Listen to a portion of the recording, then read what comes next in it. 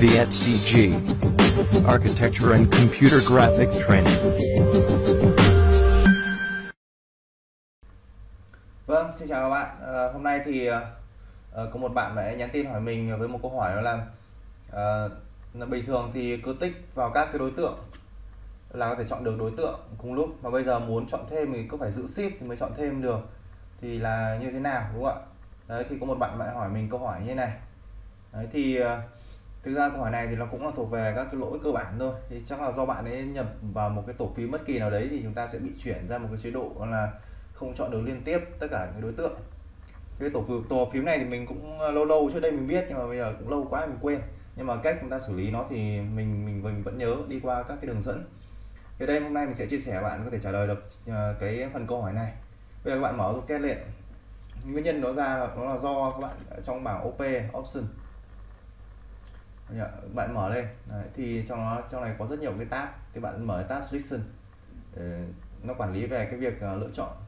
Thì ở trong này có một cái phần nó là selection mode ở đây. Bây giờ các bạn vào đây. Nha. Bảng option. Đây bạn quan tâm cho mình uh, phần uh, phân vùng selection mode. Thì nó có một cái dòng ở đây. Nó là dòng gì? Uh, sử dụng phím shift để chúng ta có thể lựa chọn được thêm đối tượng. Nhỉ bình thường khi mà chúng ta tích vào kiểm này tức là bắt buộc chúng ta phải sử dụng phím shift thì mới thêm được đối tượng. Đấy, lựa chọn thêm được đối tượng này. Đấy. mình sẽ thử trường hợp này ví dụ mình vẽ ra một hai đối tượng ở đây.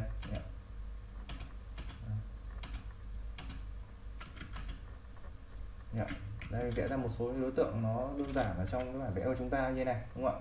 Bây giờ mình lựa chọn đối tượng thứ nhất này. Mình lựa chọn đối tượng thứ hai thì lập tức cái đối tượng thứ nhất nó gì? Nó bị bỏ chọn đi. Đấy, lựa chọn thứ ba thì tất cả những thứ trước nó bị bỏ chọn hoặc là lựa chọn như này đúng không ạ? Mình chọn cái tiếp theo thì cái này bỏ chọn. Đấy, như vậy thì chúng ta sẽ là phải giữ phím shift thì chúng ta mới lựa chọn được nhé. Ở đây mình đang sử dụng phím shift chúng ta mới lựa chọn được ờ, được thêm. Đối tượng như này mình đang sử dụng phím shift ở trên bàn phím. Đấy còn bình thường mình đang thả tay ra này.